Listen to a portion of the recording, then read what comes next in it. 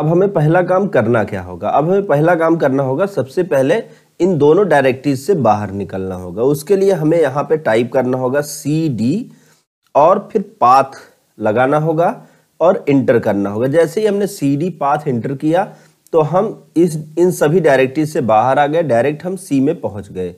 देखिए, डॉस में काम कर कर क्या सकते हैं? जैसे आप फोल्डर बना सकते हैं फोल्डर को रिमूव कर सकते हैं फ़ाइल बना सकते हैं फ़ाइल को कॉपी कर सकते हैं, फ़ाइल को डिलीट कर सकते हैं, फ़ाइल का नाम बदल सकते हैं, छिपा सकते हैं और साथ साथ बैच फ़ाइल बना सकते हैं। ऐसे बहुत सारे काम आप यहाँ पे कर सकते हैं। तो आइए हम सबसे पहले एक डायरेक्टरी बनाना सीखते हैं कि कैसे हम यहाँ पे डायरेक्टरी बनाएँ। अगर आपको सी में डायरेक्टरी बनाना है तो आप सी ही रहने दें। अगर आप डी में बनाना चाहते हैं तो डी और फुल कॉमा इसको हम कॉलन नाम से भी जानते हैं। शिफ्ट के साथ एल के ठीक बगल बटन है, उस की को दबाएँगे और इंटर की को प्रेस करेंगे तो हम इस वक्त डी में आ गए।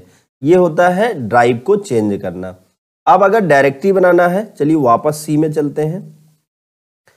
लिखते हैं, अब उसके बाद डायरेक्टरी बनाना है तो हमें लिखना होगा M D M D means होता है making directory M D space अब उस डायरेक्टरी का नाम देंगे जो हम बनाना चाहते हैं। फॉर एग्ज़ाम्पल हम चलिए दे देते हैं। एक सिंपल सा नाम राम। तो राम नाम की डायरेक्टरी बन गई। ये बता रहा है इस, इस सब directory or file Ram already exit Ram पहले से बनी है। तो अगर राम को आप ओपन करना चाहते हैं तो तो ठीक है। नहीं तो अगर आप दूसरी डायरेक्टरी बनाना चाहते हैं तो आप फिर से एम डी स्पेस मान लीजिए रामू आपने दे दिया। तो रामू नाम की बन गई। अब अगर आप ओपन करना चाहते हैं तो आपको करना क्या आपको लिखना सी डी स्पेस फिर आप वही नाम देंगे जो आपने एम डी के साथ दे रखा है।